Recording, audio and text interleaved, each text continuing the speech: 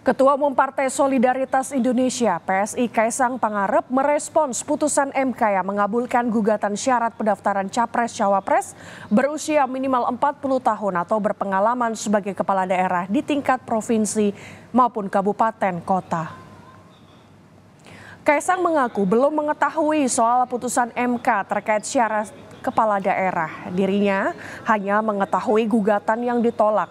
Kaisang Pangarep bilang keputusan MK tidak berpengaruh dengan dirinya. dari Makassar langsung Uh, siapa pun yang pernah menjabat sebagai kepala daerah, dia bisa jadi wapres. Gimana? Yang itu belum tahu saya. Kok eh maaf, tahunya kan tadi ada ditolak tadi kan nomor tiga lima. Yang ini belum tahu. Iya, tanggapannya gimana, Mas? Tanggapannya gimana? Dengan adanya harapan Ya ya udah.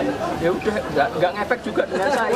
Iya. Mas Kaisang ada bukan jalan, bukan jalan, jalan ya. masih tolong minta tolong didorongnya Mas Gibran